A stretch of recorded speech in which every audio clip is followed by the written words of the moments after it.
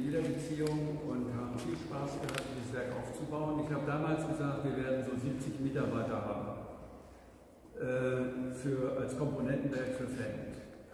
Äh, wir haben dann ziemlich schnell über 100 gehabt und haben dann ein weiteres Produkt hingelegt, also nicht nur Komponenten, sondern ein Produkt, das ist der Feldwechsler.